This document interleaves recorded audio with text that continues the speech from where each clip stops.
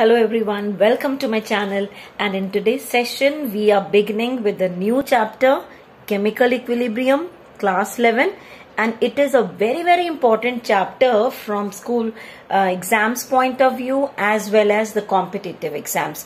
So please watch the video till the end. Okay, now first let us understand what is the meaning of the term chemical equilibrium.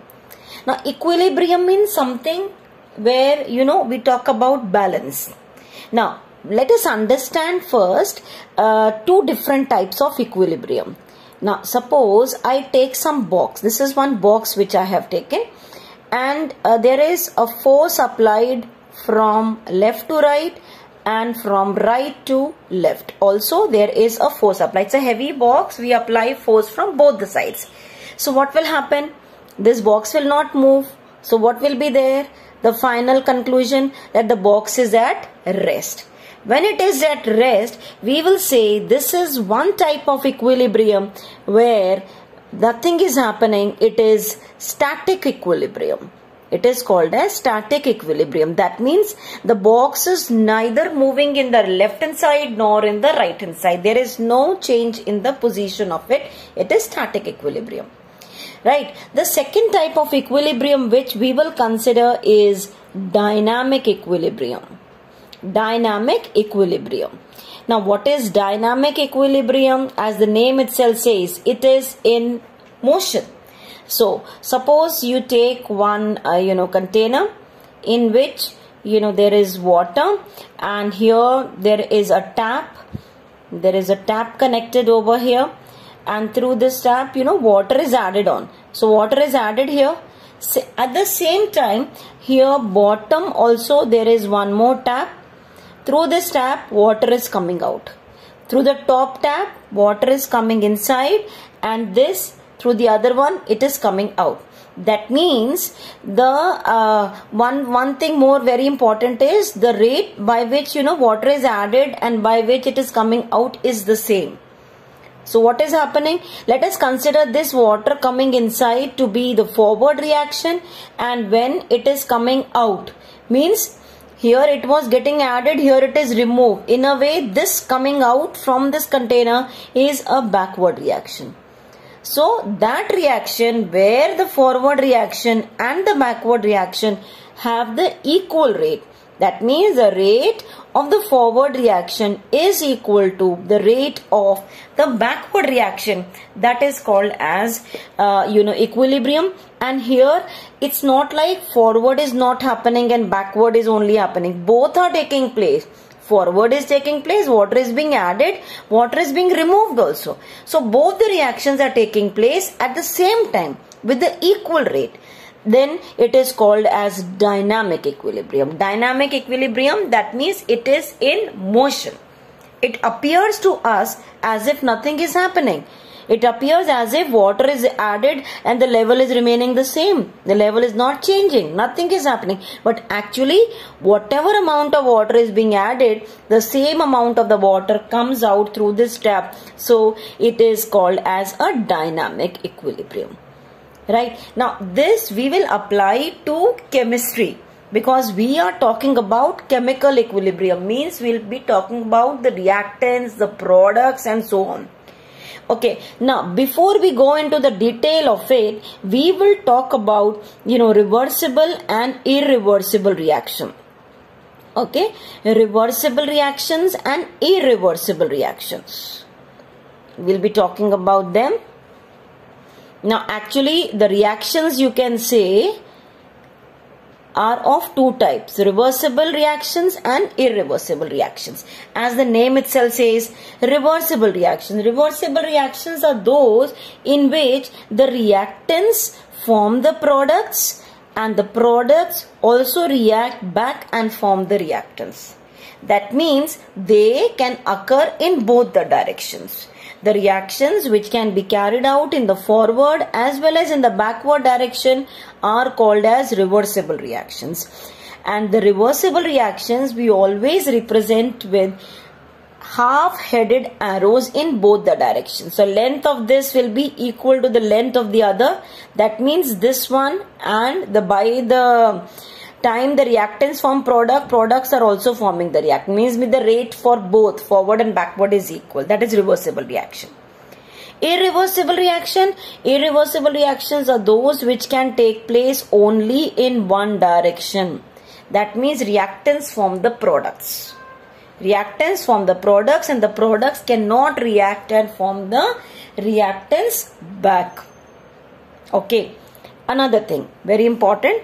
Reversible reactions have to be always carried out in a closed container and more um, to be more specific, closed container will be for those where the products are gases.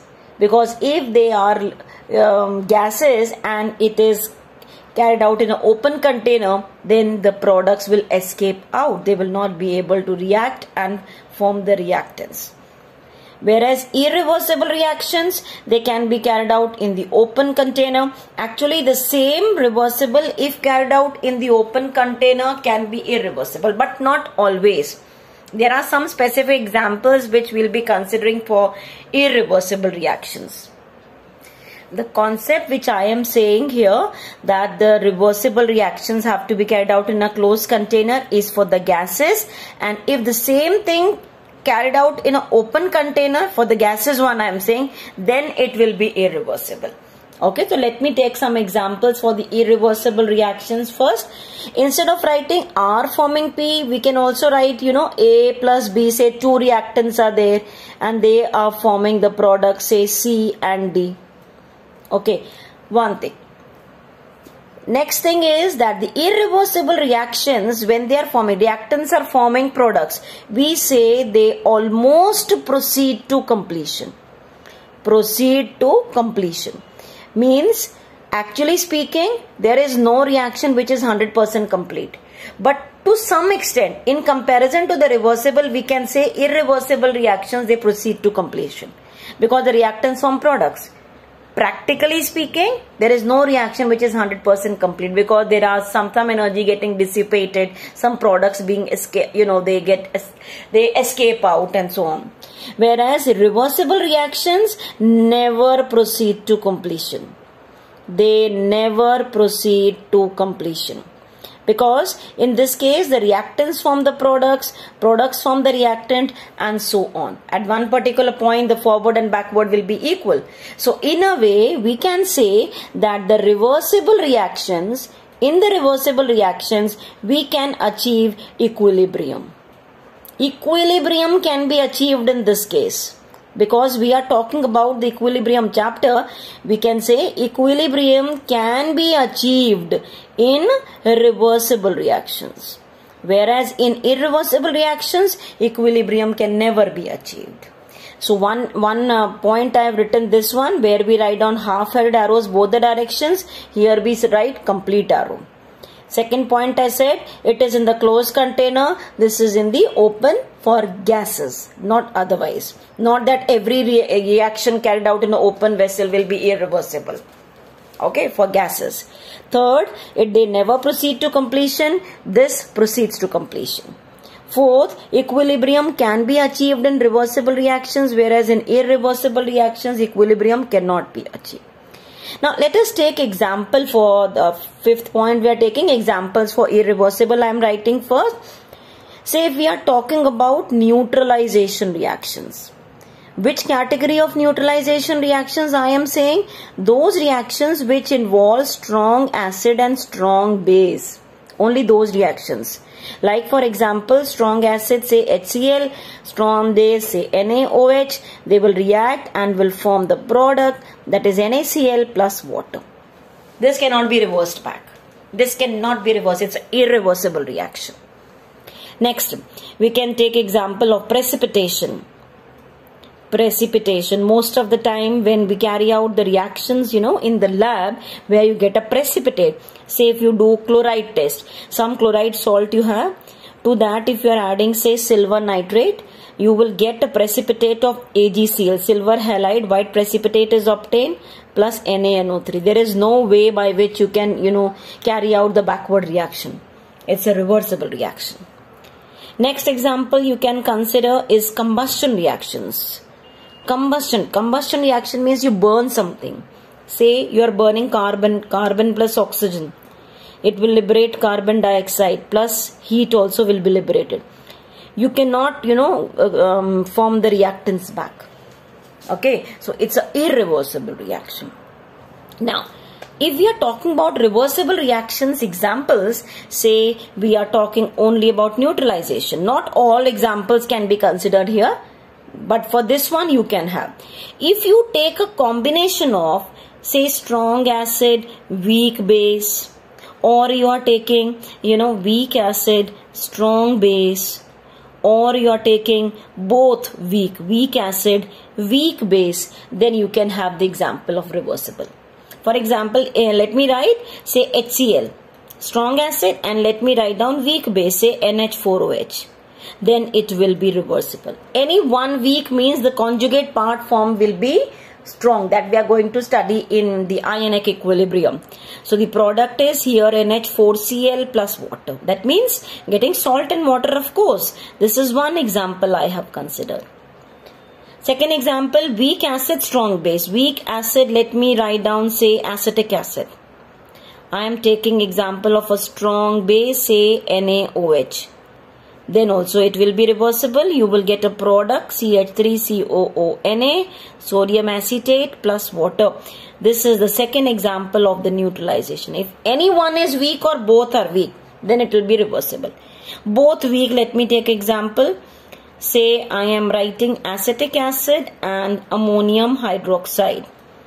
This will be reversible reaction and you will be getting ammonium salt ammonium acetate plus water that is salt plus water you are getting. Fine. So we have compared both reversible and irreversible reactions. We have considered their examples also. Clear? Apart from these examples for reversible we can also consider some more examples which we will be talking about uh, you know N2 plus 3H2 that is formation of ammonia by Haber's process it's a reversible reaction. You can have you know thermal decomposition of phosphorus pentachloride. You will get PCl3 plus Cl2 you can have H2 plus I2 forming 2HI this is also reversible. You can have Contact process SO2 plus O2 in due course we'll be studying their names. So do not bother about that. It will be this. These are all reversible reactions I have written we will be talking about these you know in the um, discussion. Oh very very important here. I will just write down one more. Say calcium carbonate. When you are burning calcium carbonate in a closed container this is solid. It will form calcium oxide that is solid. Plus you will get carbon dioxide which is gas. It is gas. It can be a reversible reaction but the same reaction, if you carry out, say decomposition, that one more category you can have in irreversible. This is irreversible column, no? In irreversible, we can write one more category, say decomposition. This decomposition in a closed container becomes reversible, but if I carry out in a open container, then it will be forming the product. This will be gas, this is solid, this will be solid you cannot reverse it back if it is because the gas is uh, escaping out. So if the products are gases and if they are allowed to escape out, then the reversible reaction also can become irreversible reaction. This is the point which I was explaining you in the beginning. Fine. Now let us understand the concept of equilibrium properly. Taking, you know, one common example. What is equilibrium and different types of graphs we'll be talking about. Suppose I consider a reaction say A plus B forming C plus D. Initially when I begin with the reaction, when I just start with the reaction, I have only the reactants, I do not have the products. So products are 0 in the beginning with me. Maybe say I begin with 1 1 mole of each reactant 1 mole of A, 1 mole of B I have taken. The products are 0. Concentration of the reactant is maximum with me. And now when I start carrying out the reaction, these two will react. Both the reactants will collide with each other. They will result in the formation of the product and the product concentration will start increasing. That means this which is maximum in the beginning, when it starts reacting, it is forming the product, the concentration of the reactant starts decreasing with time and the concentration of the product which was zero in the beginning, it starts increasing with time. Right. So suppose I just plot a graph between concentration, between the concentration and time if I plot a graph, what will I get? Okay, suppose I write down for the reactants. I am just writing R here because for A and B it may not be same. Concentration of the reactant is maximum. Here I have taken 1 1 mole but may not be always same. I may take different moles of the reactants. Concentration of the reactant is maximum in the beginning. As the reaction proceeds, concentration of the reactant will decrease it will be now less than 1 mole. This will is 0 and it will start increasing. So concentration of the reactant decreases with time. It decreases with time. This is the graph which i get for the um, reactant concentration. Concentration of reactant and time. And what about product? Product is 0 in the beginning. Product is 0 in the beginning and it is increasing with time. It is increasing with time now, do not get confused that this I have drawn above it. I will draw all possible graphs for this. It may be, you know, both equal or it can be upper, the, I mean, more than that or less than this. I'll just draw all the graph for this and explain. This is one possible graph I have drawn. Suppose I plot a graph something like this. You can consider instead of A, B, you know, when I have written R and P, let me write down R and P only. There is some reactant R and some product P.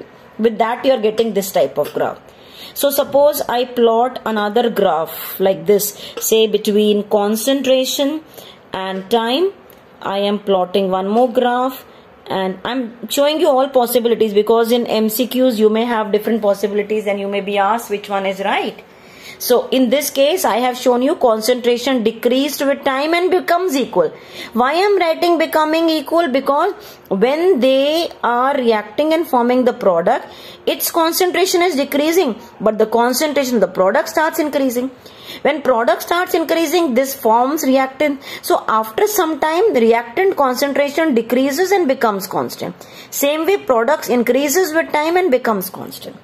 So I may also have this type of graph where, you know, this is concentration of reactant, concentration of the product. It is decreasing with time and it is becoming equal. Product is increasing with time may become equal it may be becoming equal also there is no hard and fast rule that in equilibrium concentration of the product and reactant should be equal no at equilibrium we say the concentration of the reactant and the product do not change with time. They do not become equal. Or it may be like this also. Concentration of the reactant decreases with time becomes equal. Concentration of the product increases with time becomes equal. They may be this way also so all can be you know the uh, graphs for equilibrium. You may have this graph where concentration of the reactant and product have become equal or they are not equal but they are decreasing. Reactant is decreasing with time product is increasing with time.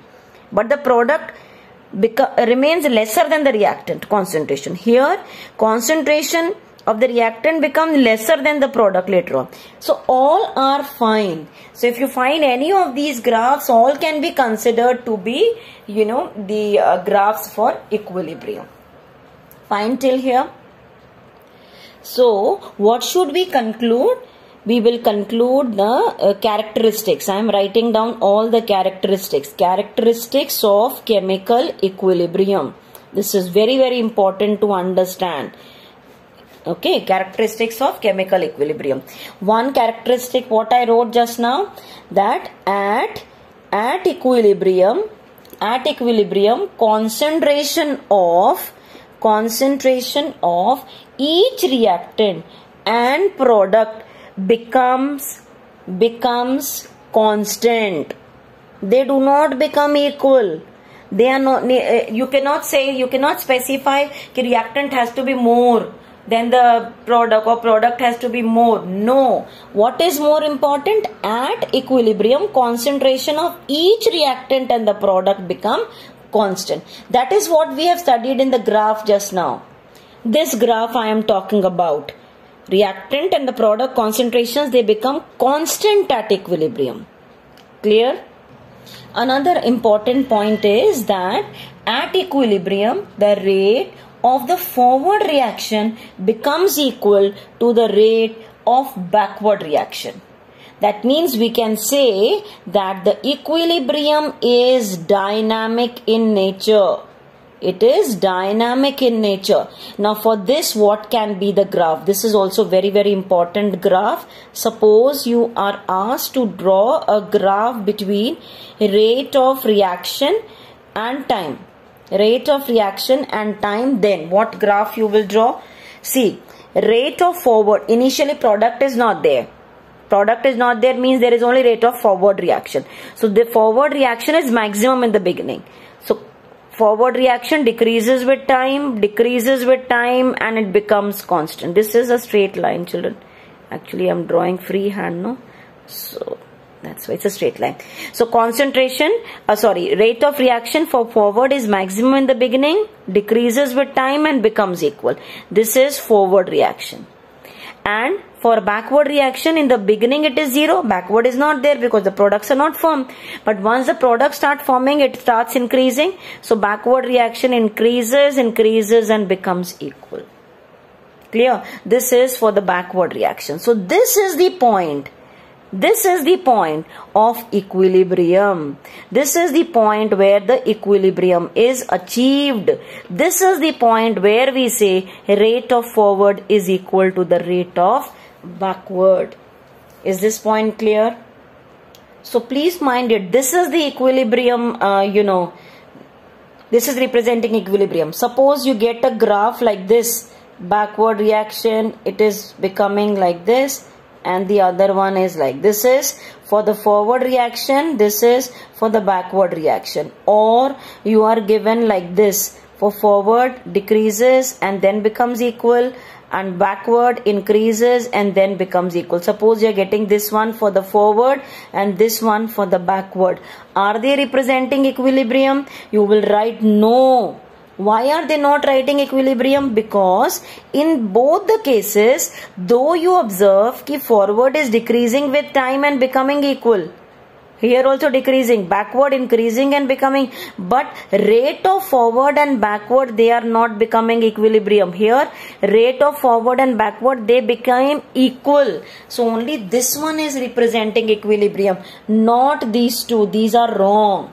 So in case you get these type of graphs, you know, please mark it wrong. Only this one is correct. Okay. Now let us consider third one. The third one is कि equilibrium equilibrium can be achieved equilibrium can be achieved only if products are not allowed to escape if the products are not allowed to escape only then you know you can have equilibrium achieved. Fourth point. Fourth point is that the equilibrium equilibrium can be achieved from either side. Can be achieved from either side. Now what do you mean by this point? From either side it means that for example, if you talk about, you know, ammonia formation, N2 plus 3H2 forming 2NH3. In this, you are having this as the reactant and this as, sorry, uh, this as the product. Right? So, you are having this reactant and this one product. It's not necessary that ammonia only should be the product and nitrogen, hydrogen should be the reactants. You can also achieve equilibrium in case you consider ammonia as the reactant, nitrogen, hydrogen as the product. This can be the reactant and this can be the product. That means it can be achieved from any side from this side or from this side. You can start the reaction from here or you can start the reaction from this side. The equilibrium can be achieved from either side. Clear? Now fifth point. Fifth point is that suppose you use a catalyst then what will happen? If you use a catalyst, catalyst will not alter it will not alter the state of equilibrium. It will not alter the state of equilibrium means even then you will have the rate of forward equal to the rate of backward.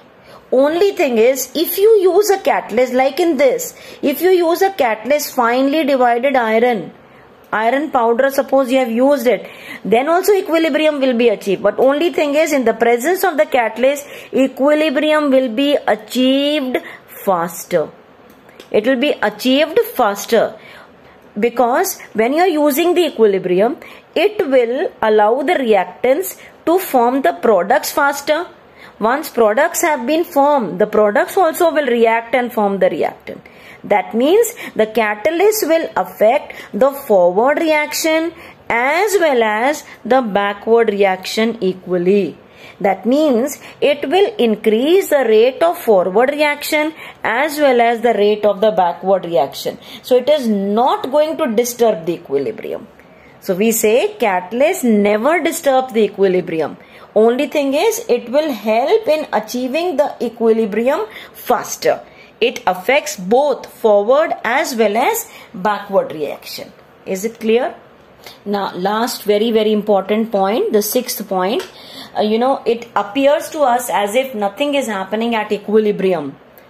Right? But there are certain observable properties, certain observable properties, they become constant at equilibrium. Certain observable properties like pressure, like density, like maybe color, color, that becomes constant. That may be applicable not for all, yes, but for few. These properties become constant. That means we can say equilibrium has been achieved. Let me explain this with the example. Suppose I take a closed container which is connected with the manometer a tube. You know, this manometer is having mercury here this is mercury attached to it. Initially this is in the liquid state. That means the level in both the limbs will be same. And here we have taken a placed a vessel in which we have taken say calcium carbonate solid calcium carbonate and now we start heating it. When we heat it in the beginning we know the mercury level in both the limbs is equal when you start heating it it will form calcium oxide and will start liberating carbon dioxide gas. So gas will be formed in it. So it will start exerting some pressure here. So the limb uh, the mercury in the left limb will come down and right limb will come up. And after some time we will find that the uh, change in the level is not seen in mercury. That means the pressure becomes constant. When the pressure becomes constant we are we can say that equilibrium has been achieved. So uh, we can also uh, actually prove it by the experiment that equilibrium has been achieved or not. Or we can say the color becomes constant. Let us take example suppose in a closed container i have taken hydrogen and iodine. We know hydrogen is colorless but iodine is violet color it is having peculiar violet color. So in the beginning there will be prominent color visible because of iodine. And now you start heating it. When you start heating it the two will react and will form HI so that means concentration of this I2 will start decreasing. So the intensity of the color will start decreasing. Intensity of the color starts decreasing means it will become less violet and after some time the products are formed and the products also will start forming the reactant. Means the color intensity will change slightly.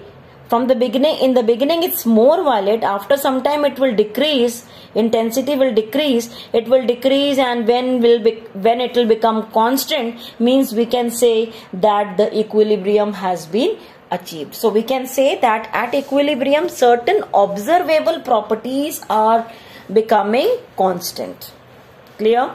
So i hope you have uh, understood whatever we have discussed in chemical equilibrium chapter. So we'll be proceeding with equilibrium um, more details of this chapter in the upcoming video. So please stay connected.